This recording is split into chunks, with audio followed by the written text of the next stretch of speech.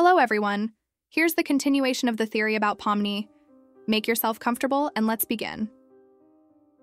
When Pomni asks about the exit door, I find it quite strange that she doesn't say, the orange exit door, and specify that she saw this door, as well as a red exit door earlier.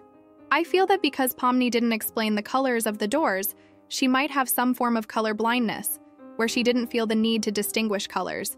If her type of color blindness is deuteranopia, then Pomni might think that her jester outfit is blue-green, because according to the map, people with this can only see blue, green, and variations of yellow.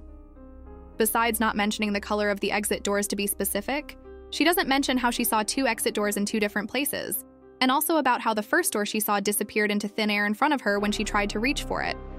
After Caine talks about how she might just be experiencing digital hallucinations in a cheerful tone, she lightly presses on this topic, where he then angrily raises his voice and continues to look a bit irritated, after which she squats down and nods in fear. When Jack suggests eating pizza after Zooble was taken away, she looks confused and silently questions the morality of this decision. Pomni, possibly just like Gangle, might not have been in the digital world long enough to understand that adventures actually pose no danger to anyone. Despite this, she actually doesn't say anything to question the decision, and later she will soon go off with Ragatha and Jax to talk to Kaufmo. When I watched the episode for the first time, I assumed that the noise being made was for dramatic effect, but when you listen during the scene right after this, you can still hear the strange noise from Pomni, and it's then that the fear of being trapped in the digital world causes her to lose her sanity. It seems that distance is Pomni's favorite method of trying to cope with extreme emotions, but it actually doesn't cope with them and only works as a temporary comfort. She completely loses her composure when this calming method fails, but this time she manages to do it, and she doesn't go insane. Pomni reacted about the same time as Ragatha did, from the moment they first reacted to the moment Kaufmo lunged at them. About 27 seconds had passed. I'll give credit to Pomni, based on the fact that she stayed with Ragatha and tried to help her get up when Kaufmo was behind Ragatha, but Pomni had about 26 seconds to urge Ragatha to run. Pomni's reaction to freeze in place, fortunately, didn't put her life at risk at the beginning of the episode, as the group of people were friendly, but this time it happened specifically. When Pomni dodges things in the episode as a whole, she jumps to the side. During this particular scene, where she's running away from Kaufmo, she can land her first jump, which, if you look at this scene frame by frame, actually slows her down. When she jumps a second time, it actually almost cost Pomni her life because she falls flat on her face, but quickly gets up, running on all fours, and then straightens back up.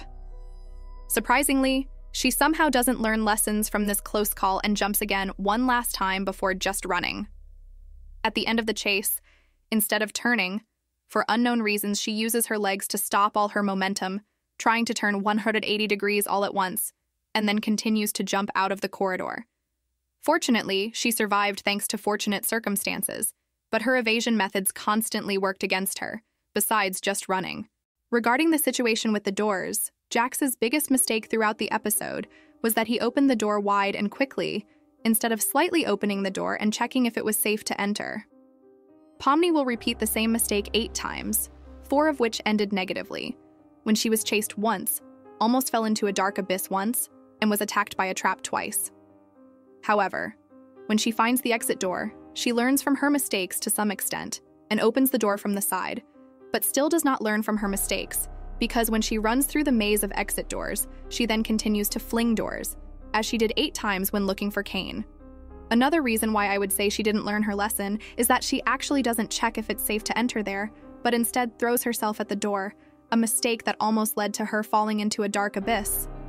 As a note related to the ninth door, she opens, this is the third time she will struggle with her conscience to stay and try to help Ragatha, but this specific third time she made a promise to return, but this time she finally ignores her conscience and prioritizes leaving.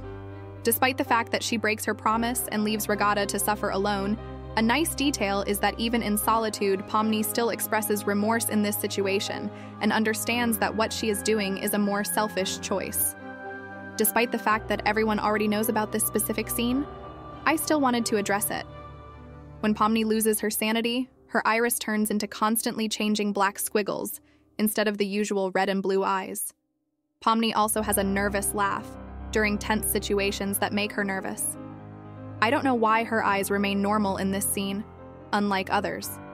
As far as I understand, if her eyes turn into black circles with white centers, it's when she's shocked. When her pupils become small, she's nervous. When her eyes become big, she's surprised. And when they turn into black squiggles, it's when she's trying to focus. Based on this, she's upset, so I feel that this is a manifestation of a new emotion shown in rage. Given what was said, I feel that she wouldn't have abstracted in this state, but rather, this is how she vents her anger, and she doesn't quite carry the same disappointment when running down the last corridor before the void. In the final scene, we don't hear anyone's voices while the closing music is playing, and I assume that this symbolizes that she isn't listening to anyone, which would be logical, because in this situation, no one is actually talking to her, as Jax and Gangle are talking to each other on the opposite side where Pomni is sitting. Going through the details about Pomni roughly in order by the first episode, I would like to make a few additional remarks regarding the details. Looking at all the doors that are visible in the scenes in the general corridor, Pomni was the second jester character in the digital world and probably the first female jester. There was also an unknown excluded chess piece that looks like what Kinger looks like, but surprisingly, Pomni doesn't look like this previous jester at all. As a final belated thought, the combination of the idea that she emits a terrifying noise at a distance, that her eyes, gums, eyelids, and eye sockets are completely black, how sharp teeth appear in her, and how she disrupts the electricity around her when she is in a rage altogether seem like red flags about what she might ultimately turn into if she becomes evil. Another strange idea is that it seems her character is drawn with white makeup, as if it is intended to hide the darkness. At the same time, however, it is unknown whether the characters that people become when entering the digital world reflect their personalities or not. But if they somehow do, the hints seem to reflect the idea of a shadow demon, which can symbolize a completely evil and rotten person trying to stay hidden with all their might. However, if they had nothing to do with Pomni's personality, I might just dismiss them as coincidences. But I'm not sure what to think about these details until we have additional evidence that the character a person inherits reflects his personality or vice versa. Interesting theory.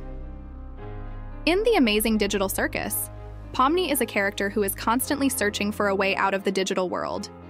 If we assume that Pomni can abstract, that is, separate her consciousness from the digital world, this could potentially be a way to escape.